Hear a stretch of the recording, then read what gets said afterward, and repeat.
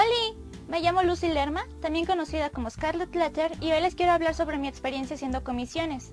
Y trataré de ser lo más breve posible, esperando que algo de lo que te digo te ayude a decidirte a intentarlo. Una comisión en el contexto de este video es cuando un artista cobra o le pagan por sus dibujos. Llevo haciendo comisiones desde aproximadamente 2014-2015, ya es un tiempo creo yo, y quizás he tenido suerte porque han sido muchas más experiencias buenas que malas, pero trataré de hablarles de ambos casos. Al principio hacía comisiones solo para poder comprar OCs que otras chicas vendían en grupos como OC City o, o similares. Pero poco a poco empecé a trabajar de eso tiempo completo. Lo mucho o poco que pueda ganar con esto me ayuda con los gastos de la casa, a pagar mis estudios, entre otras cosas. Antes de hacer comisiones, empecé haciendo request, es decir, dibujos gratis. Siempre recomiendo a los demás empezar así para que empiecen a ganar un público un poquito más sólido y además les sirve de práctica en caso de que apenas estén empezando a dibujar. Yo empecé cobrando barato, muy muy barato. Más o menos de 2 a 10 points en DeviantArt que son menos de 50 centavos mexicanos, así que ya podrán hacerse una idea de cuánto cobraba realmente en ese entonces. Siempre recomiendo empezar así para ir ganando clientela poco a poco, pero al final solo tú sabes cuánto cobrar por tu tiempo, esfuerzo y trabajo. Al principio tenía poca clientela. Tenía pocos pedidos también, así que yo mismo empecé a promocionar mi trabajo entre grupos de gente que le pudiera interesar. Por ejemplo, Facebook, DeviantArt son las redes sociales por las que más me muevo. Paulatinamente comencé a ganar más clientes que estaban y a día de hoy siguen encantadísimos con mi trabajo. Algunas de las cosas positivas de dedicarse a esto es que, en mi caso y trabajando como freelancer, es que lo hago de manera independiente. Básicamente soy mi propia jefa. Es lindo porque estás trabajando desde tu casa y yo puedo ponerme mis propios horarios. Tú sabes cuánto cobrar y cómo administrarte. El problema es que también es muy fácil distraerte y dejarte desanimar. Quizás una de las cosas más difíciles para mí de dedicarse a esto es que, por lo general, estoy muy ocupada y, y no es un secreto. No me malentiendan, amo mi trabajo, lo amo más que cualquier cosa, es como... Me gano la vida levantándome y haciendo dibujos y, y es genial. Creo que no podría pedir algo mejor para mí en este momento. Pero las artes, como cualquier otra profesión o negocio que te tomes en serio, son caminos muy... muy egoístas. Casi no tienes tiempo o ánimos para salir y tienes que decir que no a muchas cosas y esperas entregar las cosas en tiempo y forma. Ah, y tampoco tienes un sueldo fijo. Otro punto negativo es que es bastante difícil que se le pague bien a un artista, pues a día de hoy muchas personas no se toman esta profesión en serio y la ven como un simple hobby. Nunca faltan aquellos que te dicen que cobras caro o que tú no trabajas, solo te sientas a dibujar todo el día. Lo mejor que puedes hacer en estos casos es o tratar de hacerlas ver tu punto de vista que en el mejor de los casos puede funcionar bien y te valoran un poquito más, o ignorarlos. No hay de otra, no, no hay peor ciego que el que no quieren ver, dicen por ahí. Es mejor concentrar tus energías en mejorar y hacer lo que te gusta que gastar tu tiempo en gente que no vale la pena. Yo creo que todo viene en su momento y a su tiempo. Si les sirve de consuelo, mis padres no creyeron en mí hasta que llegué de mi primera convención con dinero en una mano y un peluche de Twilight y cargando una almohada gigante de la princesa Celestia. Ahí vieron, vaya, creo que esto es en serio.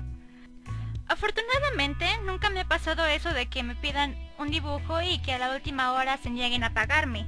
Por lo regular me pagan al menos la mitad antes de empezar o completo. La gran mayoría de las veces sin que yo se los pida y es bastante lindo. Lo que sí me ha pasado es gente que llega a tener problemas conmigo o yo con ellos y deciden atacar por ahí, esparciendo rumores y mil tipos, esperando que eso afecte mi trabajo. Al menos es lo que yo me imagino. Por ejemplo, y un caso que sí me desanimó bastante fue la Mexicon del 2016. Cuando hice mi anuncio, cuando publicaron el anuncio de que iba a ser presente en la convención, este, empezaron a ver muchísimos comentarios y la gran mayoría son comentarios de gente malintencionada que dice que, que, uso bases, que copio, que los dibujos en realidad no son míos, que no dibujo bien ni con ganas ni siquiera cuando me pagan, etcétera, etcétera, etcétera. Y la verdad sí me desanimó bastante, pero no podía dejar que eso me detuviera, ¿verdad? Si bien me tomé una pausa, al final fui porque ya había hecho un compromiso y porque me moría de ganas de ir, adoro ir a convenciones. Durante esa misma convención, un muchacho se me acercó a pedirme una comisión que por una cosa u otra no me la podía pagar en ese momento, pero habíamos acordado que me la pagaría después. Como era una comisión en tradicional, dije, ok, está bien, tengo que ir a entregársela de cualquier manera. Solo que por cosas de la vida empecé a tardarme en hacer su comisión. Pasaron semanas y yo por una cosa u otra no podía empezarla. Así que por eso pensaba entregársela y no cobrársela, como por decir, disculpa las molestias, toma esto de mi parte. pero ya cuando empecé a hacérsela, de un momento a otro comenzó a acosarme y al final decidí no entregarle el dibujo para, para no exponerme. Hace poco también llegó un chico diciendo que le debió una comisión desde hace tres años. La cosa es que yo siempre anoto todo, especialmente cuando me pagan. Y esas listas donde anoto quién me pidió, lo que me pidió, cuánto me pagó, etcétera, etcétera, etcétera, son públicas. Encima él me quiso cambiar las fechas y terminó diciéndome que si no le hacía el dibujo le diría a todos que no me compraran. Y me recordó, entre comillas, que la gente dice que no entregas. La gente dice que no entregas.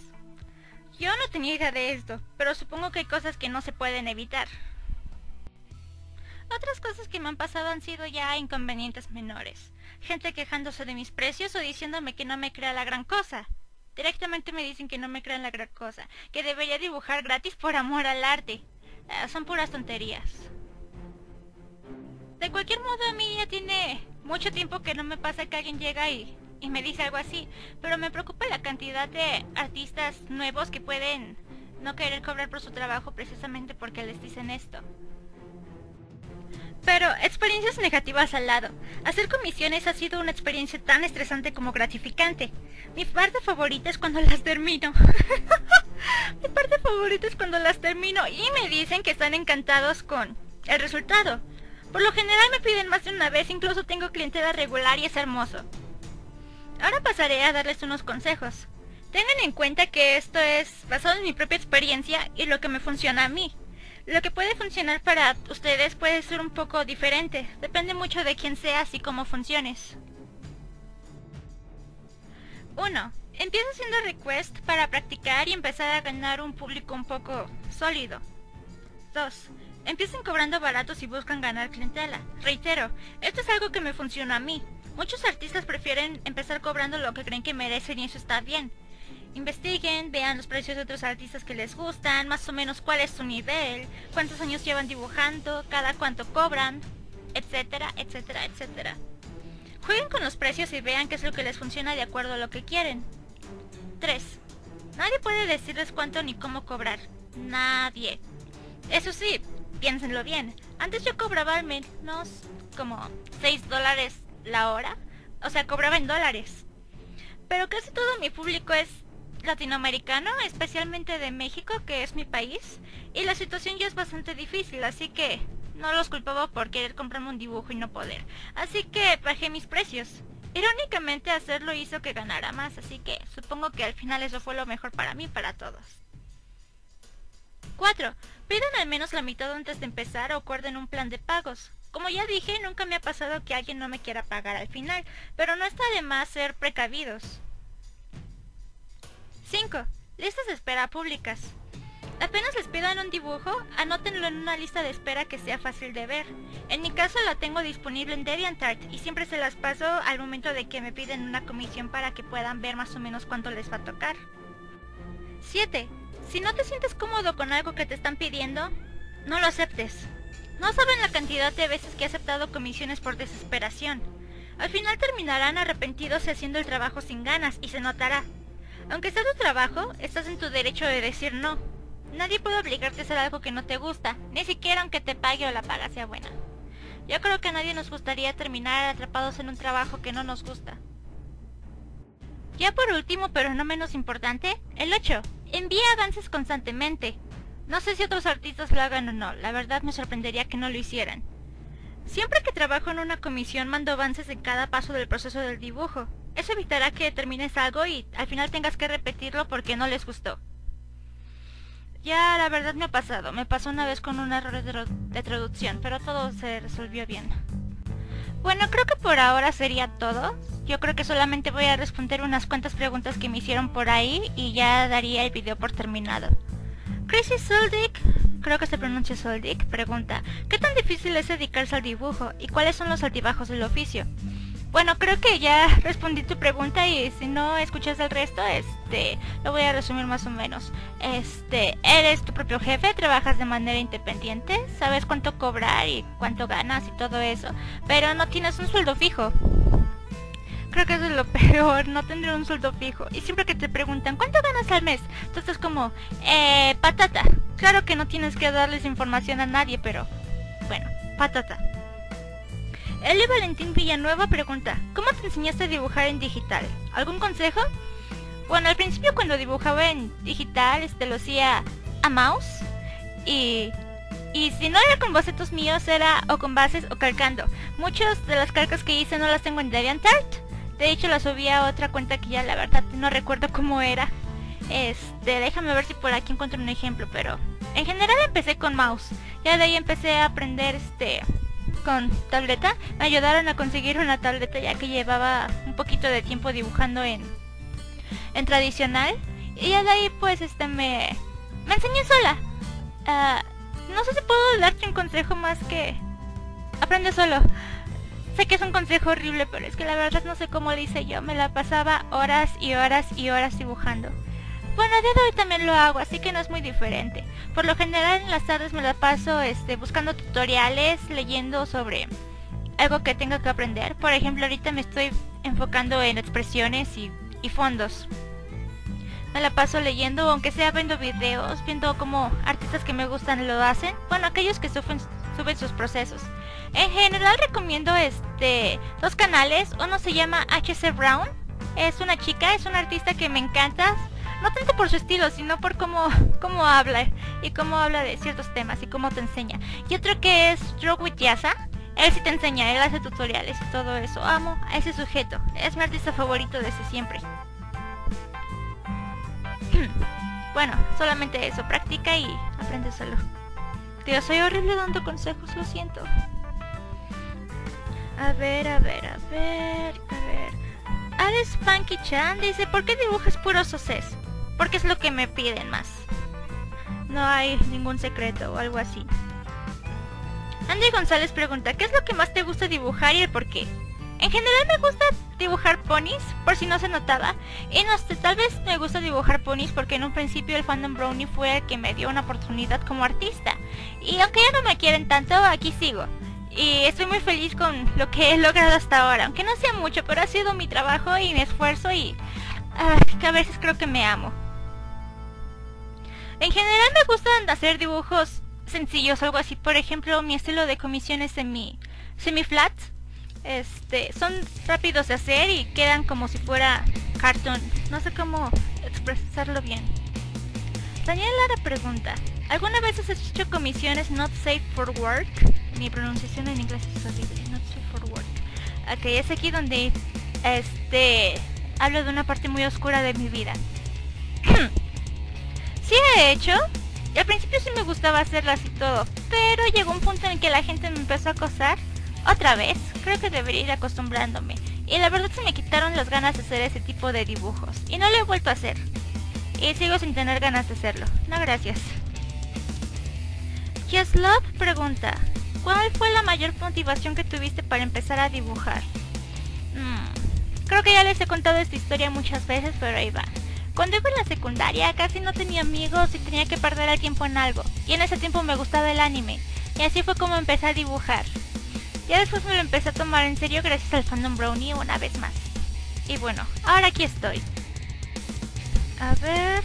Francisco Gaviar Galván Echevarría pregunta. ¿Cuál ha sido el mayor proyecto de comisiones que hayas hecho hasta el momento? Mm, si no contamos tu cómic, estoy trabajando en un cómic con este chico. Hasta ahora no puedo dar muchos detalles porque bueno, ni yo tengo todos los detalles, pero hasta ahora me gusta mucho la historia. Está, está genial, espero poder sacarlo pronto al público. Pero si no contamos ese cómic, yo creo que fue una comisión que me pidió este José... Ay, no me acuerdo de su nombre. Pero fue una, fue una donde había varios personajes. Y la verdad que si nunca me piden este comisiones con varios personajes. Prefiero hacer solo de uno o dos. Si pongo varios no sé cómo acomodar el... No sé cómo acomodarlos a todos en el lienzo y me, revuelvo. Genogeda pregunta, ¿qué tanto aprecias a tus fans? ¿Cuántos han llegado al límite del fanatismo? Ah, bueno, primero que nada, no sé si se les puede llamar fans. Y no es que esté tratando de ser humilde o algo así, sino que yo no me considero una figura pública. No me considero una figura pública para nada, de verdad. Lamento si me odian por eso, pero no, no me considero así. Prefiero llamarlos, no sé, gente que le gusta mi trabajo, seguidores, gente que dice Hail Scarlett si yo se lo pido. Bueno, no. no sé si no sé si fans, pero es gente que le gusta mi trabajo. Y la verdad es que ya sea gente que le guste mi trabajo o no tenga idea de lo que hago, este, bueno, para que mi novio me diga, es que no sabes tratar a las personas, creo que ya es, es, este, ya tengo un problema. aprecio muchísimo a la gente que, que se toma el tiempo de ver mi trabajo y decirme que me gusta, que les gusta, pedirme comisiones o simplemente decirme que estoy haciendo mal. Aunque la verdad, a veces creo que no se los que no los trato como se lo merecen. tengo un gran problema a la hora de tratar a la gente que no conozco. Soy soy muy desconfiada a veces, pero muy, muy, muy desconfiada. Aunque eso sí, trato de siempre ser cortés. No soy el tipo de persona que va a iniciar una conversación o algo así, pero, o sea, en general me gusta hablar aunque esté ocupada. Solamente que a veces me tardo en responder y como que se lo toman personal y... Ah, muchas veces no sé qué hacerme. Me pongo nerviosa hablando con gente que no conozco. Eh, ¿Cuántos han llegado al límite del fanatismo? Solamente este chavo que te digo que me empezó a, acosar, quién sabe por qué. De pronto empezó así. No entiendo qué pasó. Joshua González Valle, y no entiendo por qué estoy respondiendo esto, pero me pregunta, ¿por qué medio fandom te odia? No sé. No tengo idea. Fin. Lalek Heartstring, si esa es una pregunta que este me puso a pensar mucho. ¿Quieres llegar a un punto más alto? Trabajar en una cadena de animación, un corto animado independiente, empresa, etc. Este, la verdad es que yo tengo mis propios proyectos. Podrían no ser muy ambiciosos o no podría avanzarles todo el día lo que sea, pero tengo mis propios proyectos. Este, pero la mayoría no pasan del corto animado. Así que, bueno, creo que por ahora estoy bien avanzando en mis cosas todos los días. No me veo trabajando para alguien más o en una oficina. Y es irónico que lo diga porque hago comisiones para vivir. Pero me gustaría poder vivir de lo que yo hago. Este, no es que no me guste hacer comisiones, es que si me dieran a elegir entre, oye, te pago para que dibujes lo que yo quiera o te pago para que hagas lo que tú quieres, ¿cuál crees que suena más tentador? Tal vez lo que el punto más alto que empiezo a aspirar es este, poder vivir de lo que yo hago. Y no solamente de comisiones y así, que probablemente nunca deje de hacer, sino de lo que de lo que yo hago, de lo que yo quiera hacer. Por ejemplo, la novela de Scarlet Letter, este que sigo trabajando en ella, he estado diseñando personajes y todo eso. No he subido mucho, ni siquiera a Patreon, pero pienso hacerlo en el futuro cuando lleve algo un poco más avanzado y más sólido. Uh, Macromo dice, mi única pregunta es, ¿cómo rayos puedo conseguir clientes si no soy tan conocido? Bueno, creo que este, di unos cuantos consejos arriba, es empieza haciendo request, empieza cobrando barato, este, no sé, la verdad es el único consejo que puedo dar ahorita, ya si se me ocurre algo más o tienes algún problema, siéntete libre de, de preguntar. Jesús Pasqueso pregunta, esta es una pregunta muy interesante, dice, ¿pagan bien? Ok, es este, depende mucho de cuánto cobres tú y cada cuánto te compra la gente y así, ¿no? En mi, en mi caso, como soy independiente, no tengo un sueldo fijo y... Bueno, esto es algo, un tema que no quería tocar porque los va a desanimar, pero es mejor que se los diga de una vez. Muchas, muchas veces la gente, este, compra más dependiendo de quién eres en vez de tu trabajo en sí. He visto muchísimos artistas que son bastante más habilidosos y talentosos que yo y no han tenido suerte. Y también puede pasar al revés, artistas que son, son bastante peores que tú, pero ya tienen un nombre hecho, ya su nombre es casi casi una marca. Y mucha gente a veces se guía muchas veces la gente se guía más dependiendo de quién eres en vez de tu trabajo en sí. Por eso muchos artistas consideran importante hacer su nombre, pero eh, bueno, se queda mi consejo y supongo que por eso están en, ese en este video. Es que no, no obsesionen buscando el dinero o la fama. Todo llega a su momento y a su debido tiempo. No hagan de eso lo más importante, si no se va a volver muy insatisfactorio y van a terminar haciendo de cualquier cosa con tal de que les hagan caso. Y bueno, a mi parecer no se trata de eso. Pero bueno, pasando cosas menos deprimentes, por ahora creo que sería todo. Si tienen alguna sugerencia de, de, algo que quieren que les hable o algún tutorial que quieran ver, soy, soy todo oídos o todo ojos, lo que sea. En fin, ¡hasta luego!